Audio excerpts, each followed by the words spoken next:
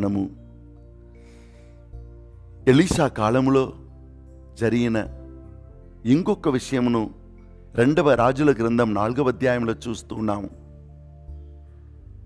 ఒక స్త్రీ తన కుమారుని కోల్పోయింది. వెంటనే ఆమె ప్రవక్తకు సందేశం పంపించింది. అందరు చెప్పారు అంతే కుమారుడు చనిపోయాడని. కానీ యేసు నీ దాసుడైన ఆ ఎలిసా వచ్చి ఏం చేశాడు? ఆ బాబు మీద పరండి. చనిపోయిన బాబు మీద పరండినప్పుడు తన ఊపిరిని ఆయనకిచ్చినప్పుడు ఒక మనిషిని ఊపిరిని పొందినవాడు మళ్ళీ జీవమును పొందుకున్నాడు. ఎందుకంటే ఆ ఊ- ఊపిరిని ఇచ్చిన ఆ దైవజనుడు దేవుని సన్నిధిని తనలో మోసుకొని వెళ్ళాడు. కుమారా కుమార్తె నీవు కూడా ఆ దేవుని సన్నిధిని మోస్తున్నావని నీకు తెలుసా? నువ్వు కూడా ఆ జీవముని ఇవ్వగలవు తెలుసా? నీవు కనులను తెరచి చూడాలి. ఎన్నాళ్ళు నీ సమస్యలనే చూసుకుంటూ ఉంటావు. ఎన్నాళ్ళు నీ ఆటంకాలను చూసుకుంటూ ఏడుచుకుంటూ ఉన్నావు. ఎప్పుడు నీలో ఉన్న దేవుని చూస్తావు. ఎప్పుడు నీలో ఉన్న దేవుని సన్నిధిని చూస్తావు. ఎప్పుడు నీలో ఉన్న దేవుని సన్నిధి జీవమును నూతన కార్యములను ఈ లోకానికి నీ కుటుంబానికి చేయబోతుందని నువ్వు తెలుసుకొనపోతున్నావు ఈ రోజుల్లో చలి పా చాలా బాగుంది. నేను రెండు మూడు రోజులుగా గమనిస్తూ ఉన్నాను. ఆ నీటిని ఉదయం లవ్వగానే నా ముక్కు మీద పెట్టి వాష్ చేస్తున్నప్పుడు ఆ చలి వెంటనే నన్ను పట్టుకుంటుంది. మళ్ళీ ఆ నీళ్ళను కూడా త్రాగుట కొద్దిగా మనస్సు ఒప్పుకోవటలేదు ఇంకా కోల్డ్ అయిపోతుందా అని.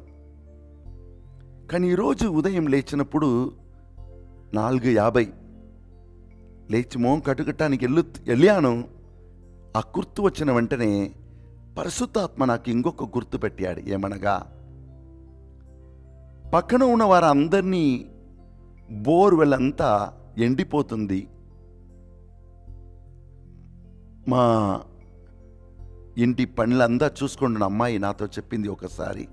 ఫాదర్ ఇప్పుడు యూత్ రెట్రీట్ ఉన్నది. చాలామంది బయట నుండి వస్తారు. మనం ఏం చేయబోతున్నామో? సమ్మర్ ఇది. మన బోరు కూడా ఎండిపోతుందో ఏమో అని.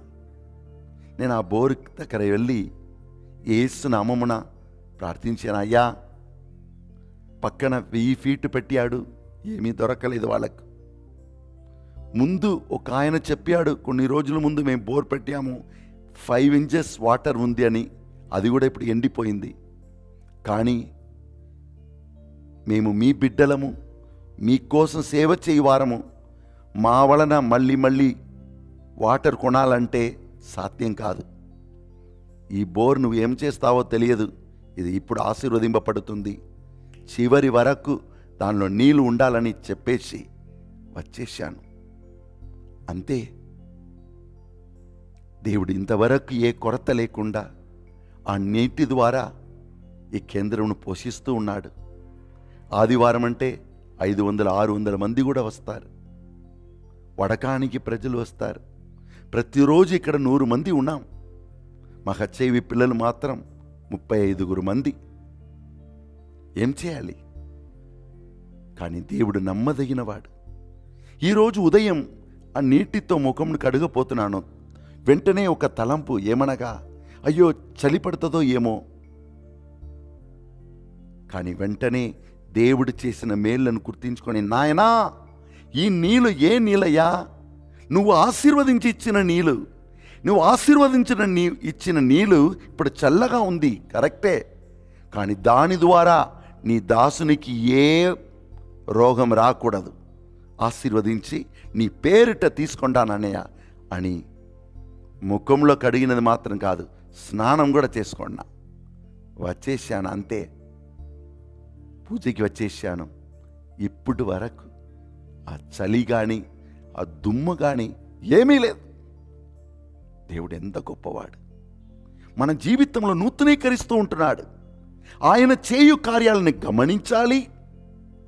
దాన్ని మనకు సొంతముగా చేసుకోవాలి. మూడవది దాన్ని ప్రకటించాలని ఆయన ఆశపడుతున్నాడు. ఆయన మనతోనే ఉంటున్నాడు. మనం గమనించాలి. అందుకే యోగాను యేసుని కూర్చి సాక్ష్యం పలికినప్పుడు ఆయన ఏం చెప్పాడు? యోగాను సువిశేషం మొదటి అధ్యాయం ఇరవై ఆరవచనంలో అయ్యా మీరు ఎరుగని ఒక్కడు నీ మధ్యలోనే ఉన్నాడు. మీకు తెలియదు. కానీ ఆయన మీ మధ్యలోనే ఉన్నాడు.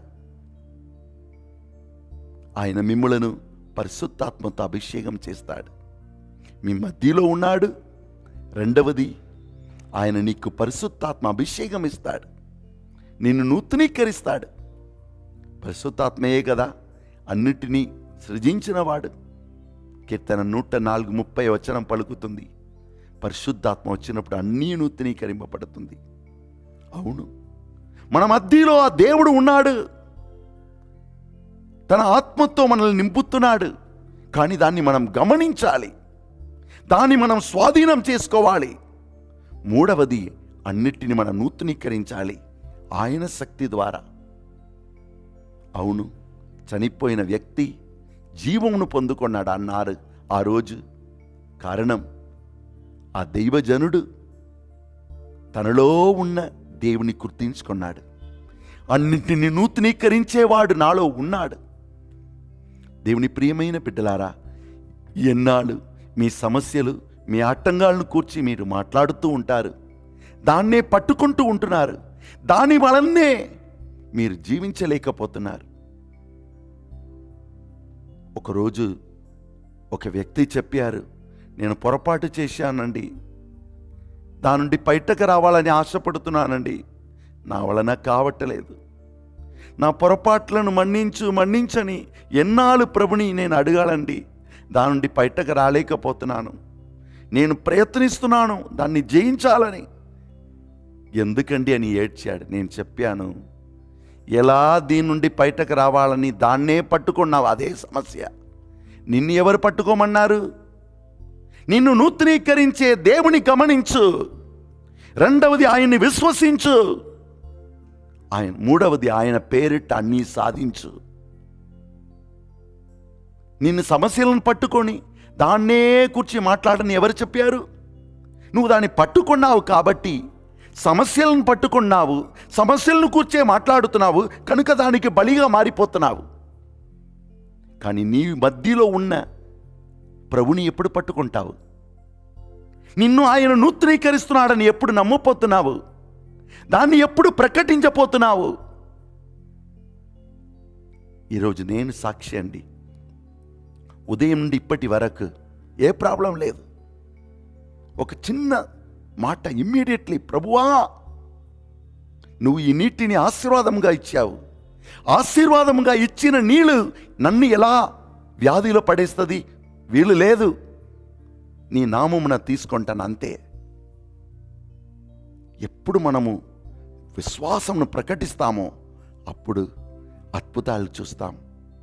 ఆ విశ్వాసముతో పలికేది మన జీవితంలో నూతనీకరమైన కార్యములను నెరవేరుస్తుంది.